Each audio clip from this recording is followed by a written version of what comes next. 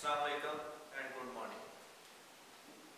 आज का हमारा लेक्चर नंबर थ्री जो है टेली कम्युनिकेशन का, वो इलेक्ट्रोमैकेनिकल टेलीफोन सेट है। ये लेसन नंबर टू है हमारा। इसमें हम मुख्तलिफ़ सेट के बारे में पढ़ेंगे कि हमने जो पिछले दौर में हमने किस तरह के जो टेलीफोन सेट इस्तेमाल किए और आज के जो जिस दौर से हम गुजर रहे हैं, इसमें हम जदीद तरह के किस तरह के टेलीफोन सेट इस्तेमाल कर लास्ट टाइम हमने जो मुख्तलिफ़ कम्युनिकेशन के बारे में पढ़ा था कि हमारे पास कम्युनिकेशन की टाइप्स किस तरह की हम किस किस सोर्स के थ्रू कम्युनिकेशन कर सकते हैं। चैप्टर नंबर टू के अंदर हमारा जो आज का पहला टॉपिक वो इलेक्ट्रोमैकेनिकल टेलीफोन सेट है। इलेक्ट्रोमैकेनिकल टेलीफोन सेट सबसे पहले तो हमने देखना है कि टेलीफोन सेट है क्या? कि दो मुख्तलिफ़ सारफ के दरमियान, दो मुख्तलिफ़ जगह से एक दूसरे के साथ जो है इलेक्ट्रिकली बातचीत करवाने का अमल जो है थ्रू वायर बातचीत करवाने का अमल जो है, वो टेलीफोन सेट कहना कि दो मुख्तलिफ़ सारफ का आपस में कम्युनिकेशन करने का अमल टेलीफोन सेट की मदद से किया जाता है, इसलिए इसको टेलीफोन सेट कहा जाता है। अब ये जो इलेक्ट्रोमैकेनिकल टेलीफोन सेट है,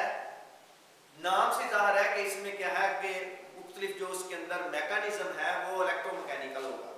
उसके अंदर क्वाइल मौजूद होगी और मैकेनिकल जो है उसके पार्ट्स होंगे। अब सबसे पहले हम इसकी जो कोर्स इसकी जो लाइन डायग्राम है, उसके ऊपर ब्लॉक डायग्राम के ऊपर जो हम बहस करेंगे। इस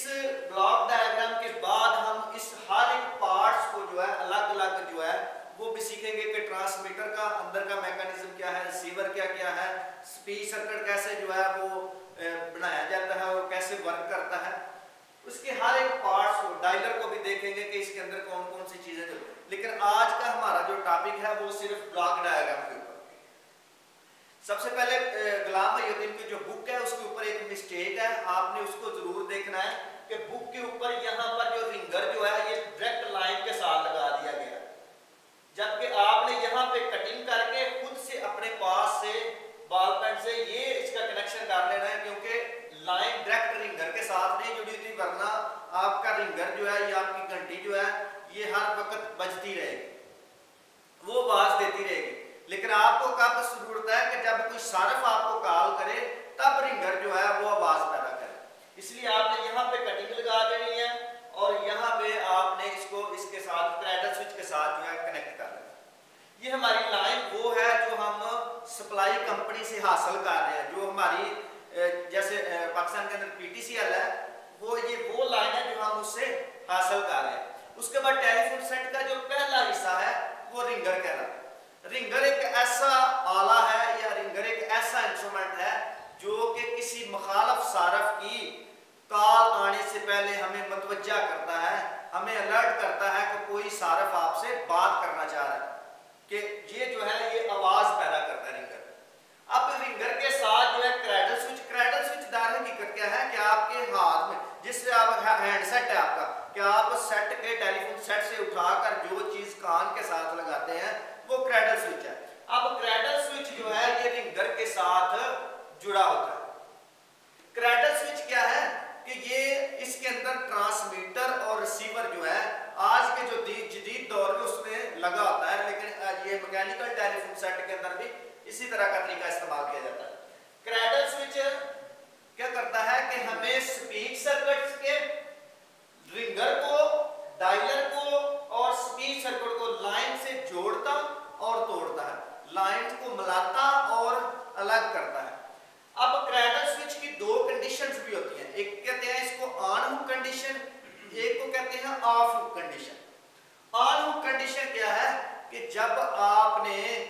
क्रैडल का जो जो आपका हैंडसेट है वो हाथ में उठाया हुआ है और आपका जो राबता है वो स्पीच सर्किट के साथ लाइन का राबता स्पीच सर्किट के साथ हो गया क्रैडल स्विच सेट से उठा हुआ है तो इस कंडीशन को कहते हैं on hook condition off hook condition क्या है कि आपका क्रैडल स्विच जो है वो हैंडसेट जो आपका जो क्रैडल स्विच है ये सेट के टेलीफोन सेट के ऊपर पड़ा हुआ इस सूरत में रिंगर लाइन के साथ जुड़ जाता है और स्पीच सर्किट जो है वो कट ऑफ़ हो उसके बाद हमारे पास है डायलर डायलर जो मैकेनिकल डायलर है ये घूमने वाला था आज मुख्तलिफ़ जो हमारे जगह पर पड़े होंगे। इसका कहता है सेट इसका डायलर को एक जगह से ऐसे मतलब घुमाना, घुमाया जाता थ्री सिक्स ज़ीरो एंगल के ऊपर। अब इसको ये घुमाने वाला जो डायलर था इसको ये मैकेनिकल टेलीफोन सेट के अंदर इस्तेमाल किया इसके ऊपर ज़ीरो से लेकर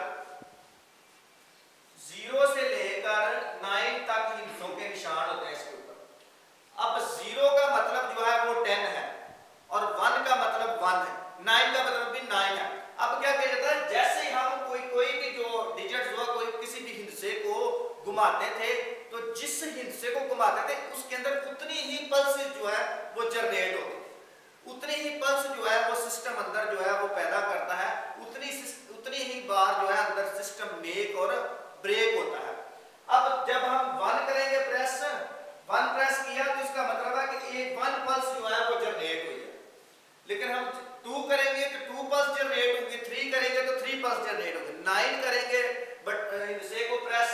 घुमाएँगे तो नाइन पल्सेस जनरेट होंगे लेकिन जब हम ज़ीरो प्रेस करेंगे तो ज़ीरो प्रेस करने से टेन पल्स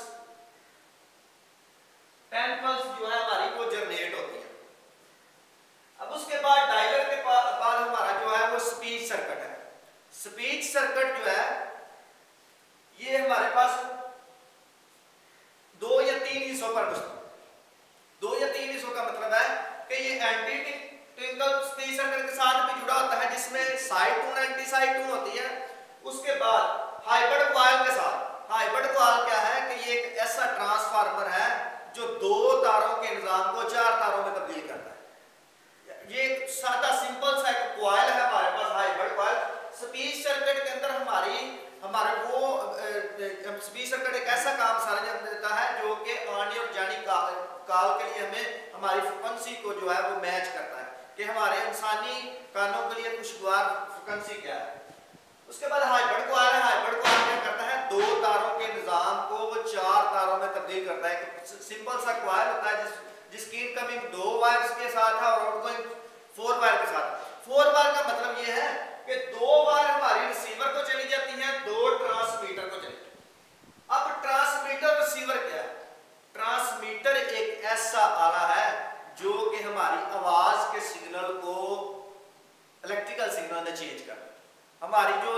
आवाज़ की, आवाज़ का सिग्नल है, उसको बरकी सिग्नल में चेंज करता है ताकि हम उसको एक जगह से दूसरी जगह पर ट्रांसमिट कर सके। उसके बाद रिसीवर है तो रिसीवर जो है, एक ऐसा आला है जो कि बरकी लहरों को रिसीव करता है और उनको चेंज करके उसको वापस आवाज़ की लहरों में तब्दील करता है ताकि हम उस आवाज़ सुन सके जो मखालफ साहब की तरफ़ से आई। सबसे एंड पे हमारा बैलेंसिंग नेटवर्क है। बैलेंसिंग नेटवर्क एक ऐसा हमारा ब्लॉक होता है जो कि इंफिडेंस और हमारी जो बैलेंसिंग नेटवर्क के अंदर जो तमाम तर इन्फिडेंस को मैच किया जाता है उसको कंट्रोल किया जाता है उसके बाद हम इसके अंदर आवाज़ कटिंग ओवर नॉइस इस तरह के जितने भी हमारे जो नेटवर्क के मामला होते हैं सारे वो बैलेंसिंग नेटवर्क जो है वो हैंडल करता है इसके अंदर तमाम तर की जो ए, ए, जो हमारी ट्रांसमिशन की जो खराबियाँ उसके अंदर वो भी इसको कंट्रोल करता है। अब इसमें हम रिव्यू पे जाएँगे पे जाएँगे कि रिंगर जो है वो आने और जाने वाली कार के लिए सार्फ को मतवजा करता है। क्रेडल स्विच क्या है कि ये हमारे जो टेलीफोन सेट के ऊपर हैंड सेट पड़ा है उसकी इसकी दो कंडीशन होती है ऑन कंडीशन और half off hook condition on hook condition क्या है कि क्रेडल स्विच पड़ा हुआ है ऊपर हैंडसेट के हैंडसेट जो है वो टेलीफोन सेट के ऊपर पड़ा हुआ है और ऑफ़ कंडीशन क्या है कि हमने उसको अपने हाथ में उठाया हुआ है देन जो क्या आता है कि हमारा डायलर स्पीच सर्किट लाइन के साथ जुड़ जाता है उसके बाद जो स्पीच सर्किट है और डायलर है डायलर जो है ये हम नंबर डायल करने के इस्तेमाल किए थे इसके अंदर ज़ीरो से लेकर नाइन तक डिजिट होते हैं और हर डिजिट के लिए जितने डिजिट को हम जो है वो प्रेस करते हैं, उतनी पल्सेस जनरेट होती हैं। लेकिन वहाँ ज़ीरो है जिसके लिए टेन पल्सेस जनरेट होती है। उसके बाद स्पीच सर्किट है और anti tinkle sir anti tinkle के अंदर side tone anti side tone जिसके हम डिटेल में जो हमारा लेक्चर नंबर फोर होगा, उसके अंदर हम बड़ी डिटेल में साइड के ऊपर बात करेंगे। स्पीच सर्किट क्या करता है? कि आने और जाने वाली कॉल के लिए फ्रिक्वेंसी को मैच करता है। उसके बाद हाइब्रिड क्वाल क्या है कि एक सिंपल क्वाइल होता है ट्रांसफार्मर की तरह, जिसके दो तारें इनकमिंग पे होती हैं आउटगोइंग दो फोर होती हैं जो फोर टू है वो ट्रांसमीटर को चली जाती हैं और टू जो है वो रिसीवर को चली जाती है ट्रांसमीटर जो है ये क्या करता है कि हमारी आवाज़ की लहरों को बरकी लहरों में चेंज कर देता है रिसीवर क्या करता है बिल्कुल उसके अपोजिट है कि वो बरकी लहरों को आवाज़ की लहरों में चेंज कर देता है उसके बाद हमारे पास जो है बैलेंसिंग नेटवर्क है जो जो हमारा नेटवर्क है जो हमारी बरकी लहरें हैं उसकी इंफिडेंस को सेट करता है आवाज़ कटिंग को ठीक करता है, उसके अंदर ट्रांसमिशन लाइन के अंदर आने वाले जो ओवर नॉइस है, उसको क्लियर करता है। ये आज का हमारा जो लेक्चर था इलेक्ट्रो मैकेनिकल टेलीफोन सेट यहाँ पे खत्म हुआ जाता है। अल्लाह हाफिज़।